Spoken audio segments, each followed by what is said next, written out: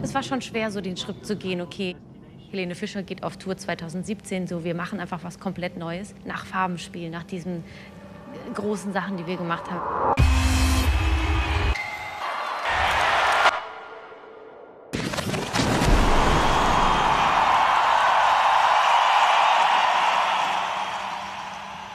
Das ist ein großer Schritt auch für mich, also mich einzulassen auf ein komplett neues Team. Aber es ist spannend, weil ich mir das ja auch selber immer wieder zumute. Auf der anderen Seite könnte ich auch einfach sagen, ich bleibe beim Alten, beim Altbewährten und äh, präsentiere das jedes Mal. Aber da ist irgendein Teufelchen in meinem Hirn, das mich immer vorantreibt und sagt, nee, probier was Neues. Und ich glaube, die, oder hoffe, dass die Leute es auch irgendwie honorieren werden, was sie da machen.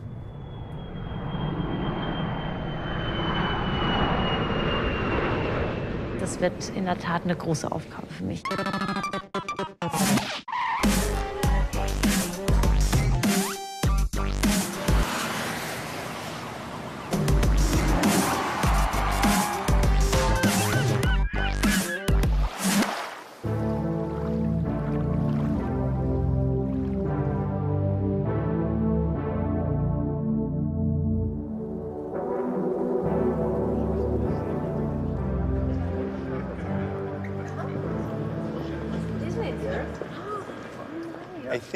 Alles hat angefangen mit meinem ersten Meeting mit Helena.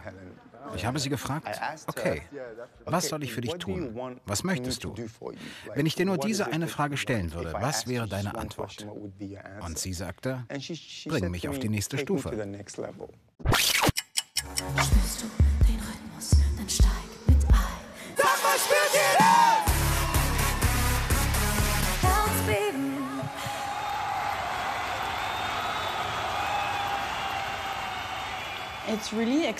Jetzt wird es wirklich spannend. Wir haben uns alles sehr lange überlegt.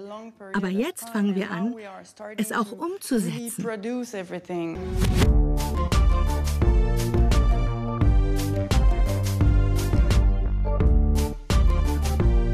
Leave your left hand on the floor. You're going to turn and make it bigger. And the other foot, hand to the ceiling. Good. Ow. Good. Stand up, just shake it out. Three more. Wow. Meine Bezeichnung hier ist Akrobatikdesigner. Das heißt, ich entwickle Bewegungsabläufe für die Show. Normalerweise arbeiten wir mit Leuten, die schon ihr ganzes Leben lang Akrobatik machen, wie ehemalige Gymnastiksportler oder Zirkusakrobaten. Dieses Mal ist es anders, denn wir entwickeln etwas, was auch eine Sängerin tun kann. And 20. Good? Yes. Okay, so we're going to set you to a height here. I just want you to do a light turn and we'll just ease you up. Okay, three, two, one, go. Yeah, you can do that as well. Spot. Oh.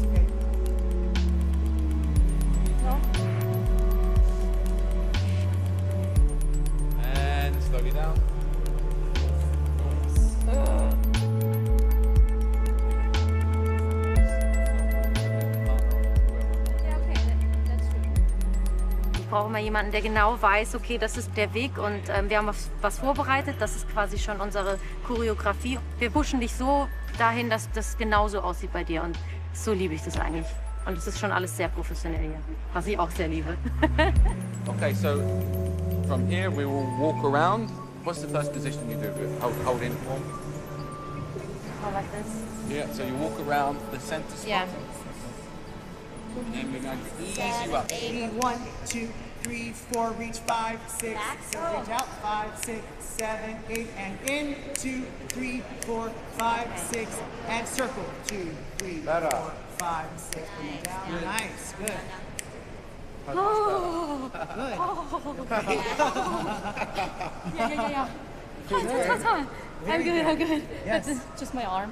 Heute haben wir erstmal die ganzen Basics ja auch gelernt, weil wir halt die Zeit haben, weil ich bin jetzt hier ähm, erstmal für zehn Tage, aber das geht dann noch weiter. Das wird, nach den zehn Tagen wird sich das alles setzen. Ich werde weiter trainieren und dann haben wir bis September eigentlich Zeit, das zu perfektionieren. Und ich glaube, das wird es am Ende auch ausmachen, dass es dann, dass es echt schön und leicht aussieht und für das Publikum einfach hoffentlich nochmal eine Steigerung sein wird. Wir müssen vorankommen und sie wie einen normalen Akrobaten behandeln, denn sie muss es ja lernen und wir haben keine Zeit, es langsam anzugehen. Sie muss die gleichen Abläufe durchlaufen wie jeder andere Akrobat auch. Wir können sie nicht sanfter behandeln, nur weil sie berühmt ist. Der Ansatz ist genau der gleiche. Hallo. Ah, hallo. Thanks. Getting worked? Yes. I want to introduce you to a colleague Oh, first. that's right. Hi, nice meeting you. Nice to meet you. Hi, Pleasure. Helen. Yeah, It's a pleasure nice to for me meeting you Yeah. and working with you Our guys. pleasure, completely. Anthony and Vin, uh, Anthony und Vin sind bekannte Choreografen aus Los Angeles. Sie haben einen ganz besonderen Stil, der eine Menge Körperkontrolle voraussetzt.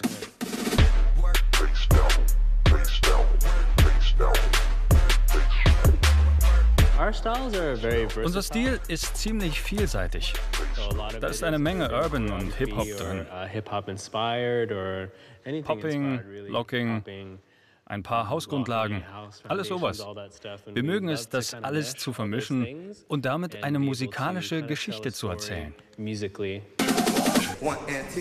Yeah. four, Wow, you have to five, keep six, up. seven, eight. One and two, three. You have to four, move five. on. Uh-huh. Don't think about this after a while, and then just think about the arms. Three, four. I know. Yeah. Seven, eight. One and two, Oh three, my four, God. six, Why? seven, eight. Mein Gehirn ist ehrlich gesagt total überfordert, weil ich die Art von Bewegung noch überhaupt nicht in meinem Körper spüre. Also ich komme vom Ballett. Ich habe vorher lange, lange Zeit mit einem Choreografen gearbeitet, der halt eine gewisse Sprache spricht. I mean, it looks like like nothing. Stupid stuff like, oh, no. But it's not. It's just my brain is thinking about what's next, what's next, what's next. What? Ah, yeah, yeah, yeah. Looking comfortable. It's day one. It is day one. Also ich versuche das jetzt einfach so ein bisschen beiseite zu legen und mich auf die beiden hier einzulassen, auf einen komplett anderen Stil einfach, auf diesen Urban-Stil.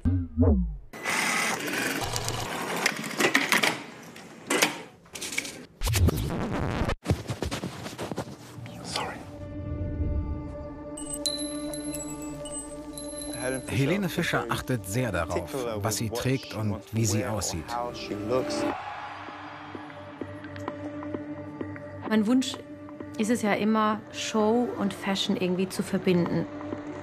Weil mir das einfach wichtig ist, weil ich habe genaue Vorstellungen. Ich habe das wirklich vor Augen, wie das dann im Endeffekt aussehen soll.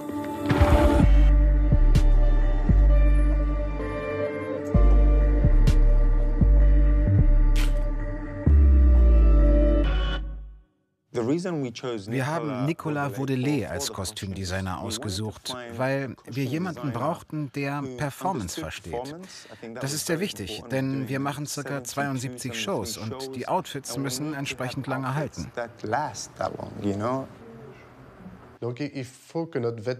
Unser Kleidungsstück muss aussehen wie Pret-à-Porter, vielleicht mit Versatzstücken aus der Haute Couture oder mit Streetwear-Elementen.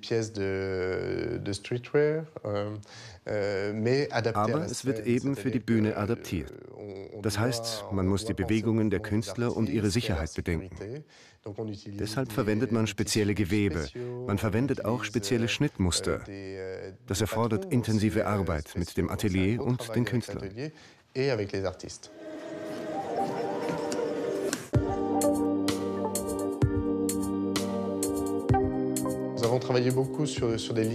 Wir haben viel an sehr klaren Linien gearbeitet, an klar designten Schnitten. Auch die Drucke sind sehr grafisch.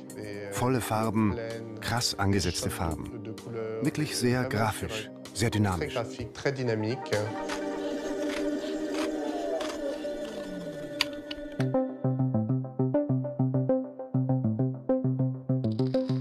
This probably is the most important costume out of all of them. Uh, this is the first one.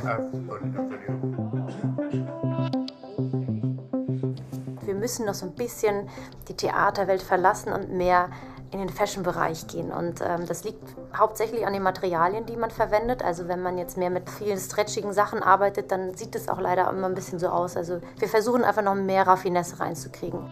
Okay. This red is right now this kind of, yeah. Puh.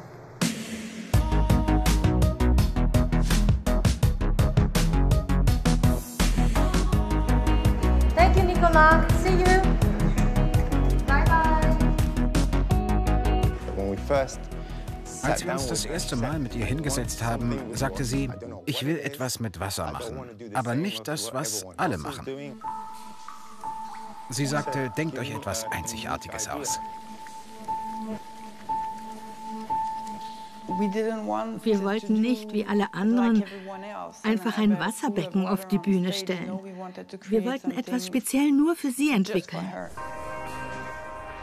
Patricia und ich haben uns hingesetzt und haben Ideen hin und her geworfen. Dann ist uns die Idee zu einem Wasserkleid gekommen. Also haben wir den besten Brunnendesigner engagiert, Michel Amann, der in Paris lebt. Oh mein Gott, sie wird es lieben.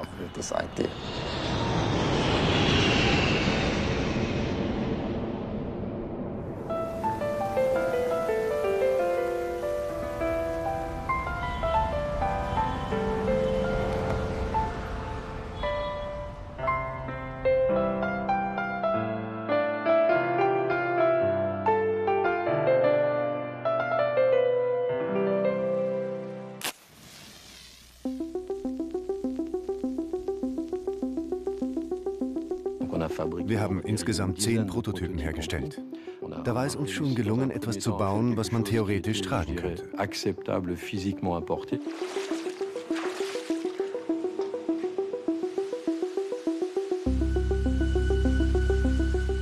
Diese Prototypen gingen natürlich nach Montreal, wo sie von Helene Fischer anprobiert wurden.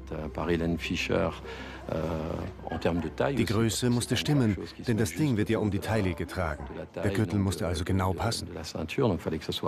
Oh, that's the belt? Yeah, that's the machine. The machine. That's where the water will come out. Great. Today the proposition is in fact to try the belt, okay? Because Yes. it's a machine. Do you want to test? Are you ready? Yes, I am. It's supposed to be done on your measurement. Yeah. But uh, just in case it is not, I'm going to see. Oh, it's not that heavy. The problem that we have is we have two pipes, four pipes that are from here and are going down with the long taps with the water. Mm-hmm. But do you feel all right with the taps like that? Or we can push them a little bit more here because you have a, a bottom here and if you don't feel comfortable, we can push a little bit here. I do really like it. I love the this kind of things.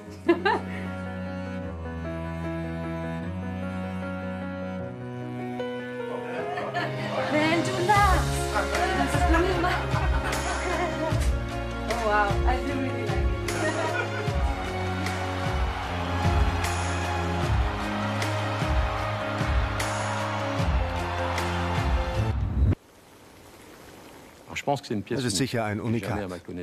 Ich habe noch nie so ein Kleid gesehen. Zumindest nicht in Menschengröße. Ich habe noch nie eine Künstlerin gesehen, die auf der Bühne ein echtes Wasserkleid getragen hätte.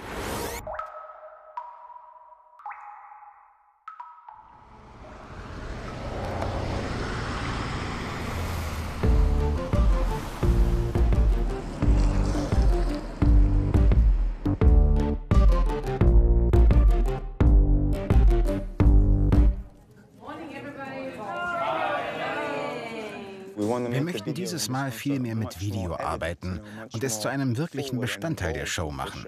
Und wir haben einen tollen, innovativen Videodesigner aus Montreal für diese Aufgabe gefunden. Yes, we went already, but let's see.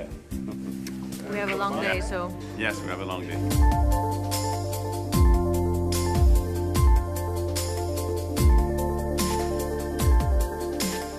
Wir drehen gleich eine Sequenz, die kurz vor dem Konzertbeginn zu sehen sein wird. Dabei trägt Helene ein Glitter-Make-up für die Lichtreflexionen.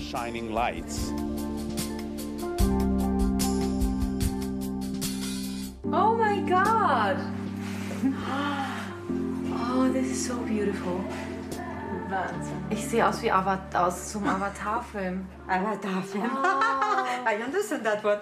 yeah. It's like, oh, I love it. Whoa, that is so crazy. Wow.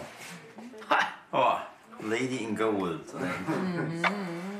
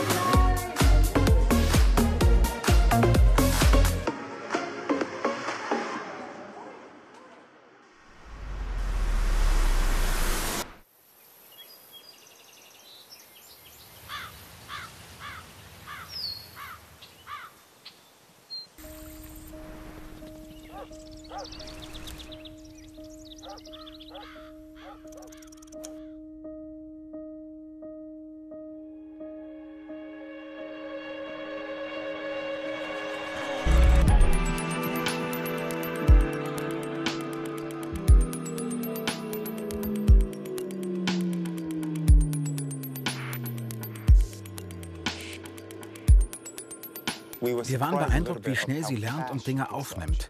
Sie ist wie ein Schwamm.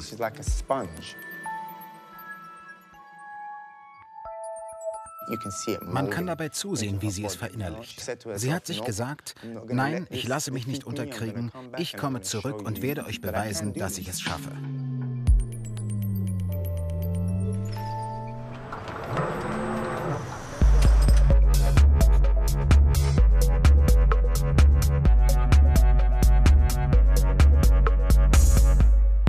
Herzbeben mache an dieser Stange, das ist das, das ist das Anspruchsvollste, was ich je gemacht habe. Das ist wirklich echt tough.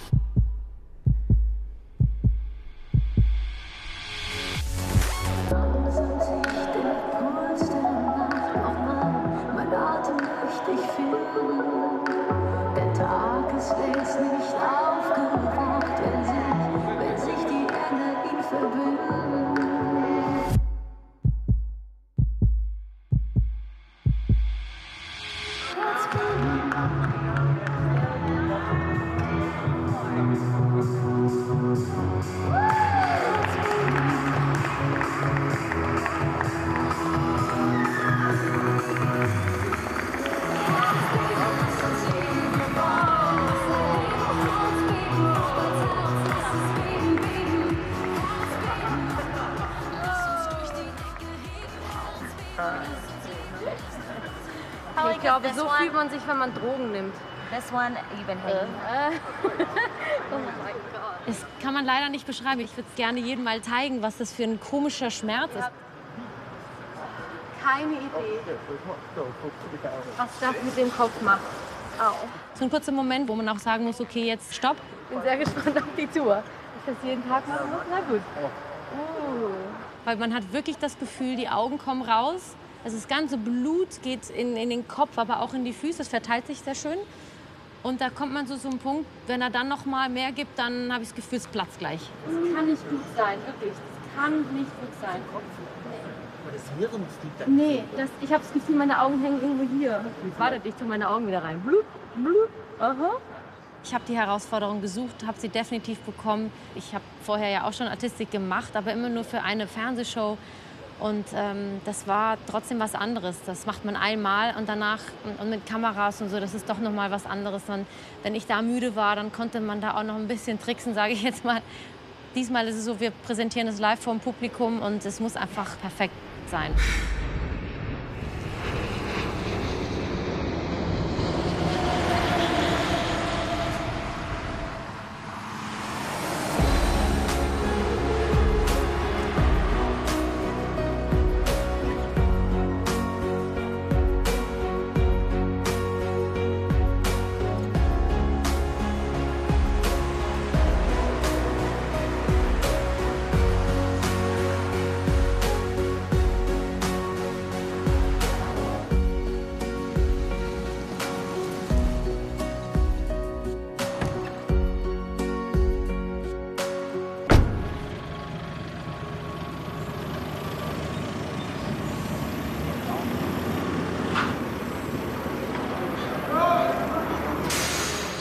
Ich bin ja immer so gefasst. Aber ich bin rein in die Halle und habe mir gedacht,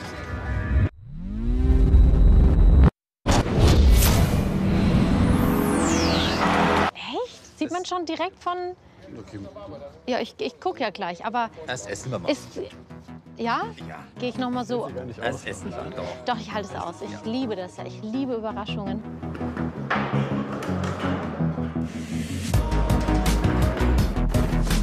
Wir sind 100 Leute Stammcrew plus 120 Helfer zum Aufbau. Der Aufbau geht in drei Schichten durch. Ungefähr in 30 Stunden sind wir Soundcheck fertig und fertig, damit die Artisten ins Dach gehen können.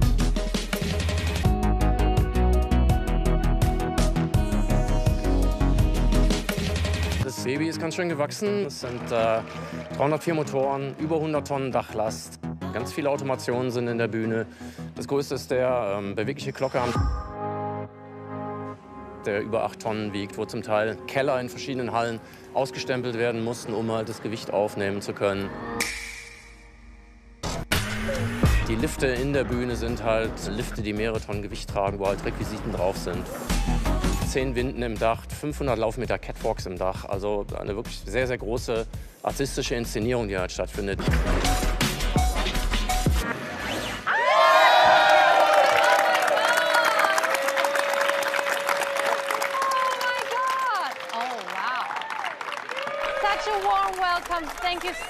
Much. Thank you very, very much. Wow. The cast that we have Von den Tänzern, die jetzt dabei sind, kannten wir die Hälfte schon vorher aus anderen Projekten, die wir gemeinsam gemacht haben. with or danced with in the past. And one, two, three, four, five, six, seven. That's the seven I'm looking for. The other half are new. Die andere Hälfte ist neu. Von überall her. Aus Chile, Slowenien, den Staaten. Noch was? Belgium. Aus Belgien. Eine internationale Truppe. Oh ja, Kanada. Canada? Kanada? Oh ja, Oh ja, Kanada. Hier ist eine Energie, die, die, ähm, die ich lange so auch nicht mehr hatte. Ich weiß nicht, was es ist. Alle sind irrsinnig aufgeregt und freuen sich einfach nur auf eine neue Tour.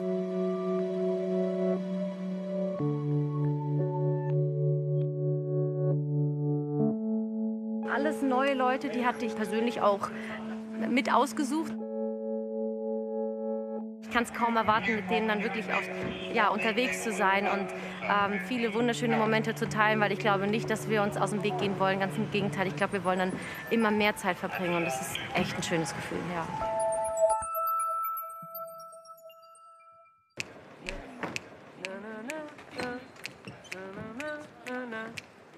Nur mit dir.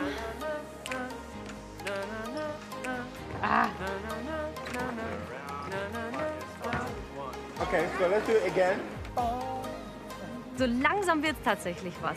Trotzdem versuchen wir natürlich noch jetzt jede Zeit zu nutzen und ähm, jede freie Minute tatsächlich auch an, an jedem Detail noch mal zu arbeiten. Gerade diese, diese Nummer, wo ich im, im Gurt fliege und die ja so leicht und, und wunderschön aussehen soll, da, da steckt eine Menge Arbeit dahinter.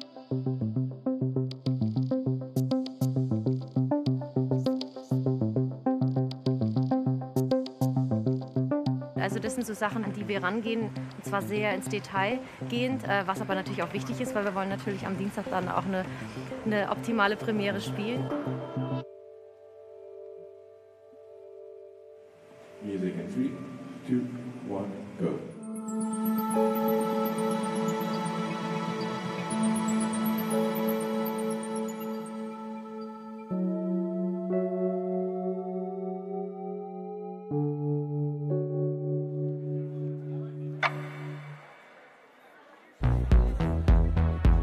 Tourauftakt, da muss man dabei sein. Das ist ein besonderes Event. Und da haben wir natürlich gesagt, ja, das müssen wir mitnehmen. Die Karten haben wir schon ein knappes Jahr. Jetzt stehen wir hier seit, also ich zumindest seit Viertel nach elf heute Morgen. Wir sind seit halb neun hier und hoffen, dass wir ja, in die erste Reihe kommen. Wir stehen auch schon eine ganze Weile hier. Seit heute Morgen um 8. Die erste Show wird der Wahnsinn. Ich glaube, die Fans haben keine Ahnung davon, was sie erwartet. Und deshalb bin ich so gespannt.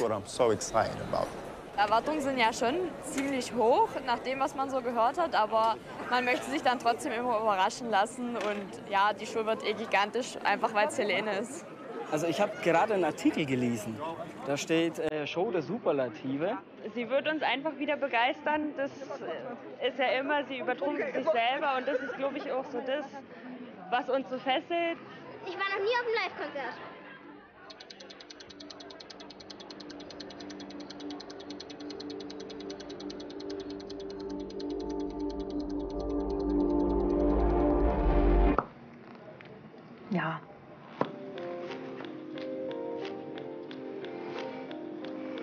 Halt. Die kann ein bisschen hoch, hä? Es spielt überhaupt keine Rolle, wie viele Monate man sich vorbereitet hat. Man braucht einfach auch einen gewissen Druck. Melli, so, ja. muss mal machen, wirklich. Schon zwölf nach. Und man braucht das Publikum auch dazu und, und das einfach zu sehen, wie, das, äh, wie die Maschinerie dann quasi läuft. Also ohne das geht es dann einfach nicht. Ich habe noch was vor, ja. Ich wollte. Echt? Ich sag's doch gleich. Ich wollte auf so eine große Party und das ist echt wichtig. Ich ähm, freue mich einfach auf, auf endlich ja, meine Fans und, und die Liebe da wieder zu spüren von allen. Ja, yeah, ich bin ready for the show. Nee, schön, ganz schön.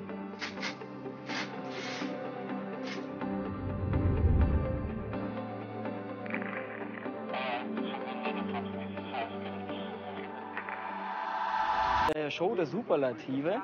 Sie wird uns einfach wieder begeistern. Das ist ja immer, sie übertrumpft sich selber und das ist, glaube ich, auch so das, was uns so fesselt. Ich war noch nie auf einem Live-Konzert.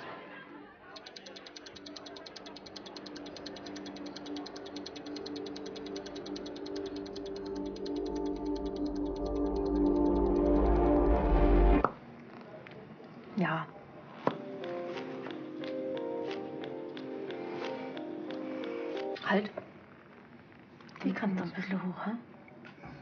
Es spielt überhaupt keine Rolle, wie viele Monate man sich vorbereitet hat. Man braucht einfach auch einen gewissen Druck. Melli, so, ja. muss mal machen, wirklich. Schon zwölf nach. Und man braucht das Publikum auch dazu und, und das einfach zu sehen, wie, das, äh, wie die Maschinerie dann quasi läuft. Also ohne das geht es dann einfach nicht. Ich habe noch was vor, ja. Ich wollte. Echt? Ich sag's doch gleich. Ich wollte auf so eine große Party und das ist echt wichtig. Ich ähm, freue mich einfach auf, auf endlich ja, meine Fans und, und die Liebe da wieder zu spüren von allen. Ja, yeah, ich bin ready for the show. Nee, schön, ganz schön.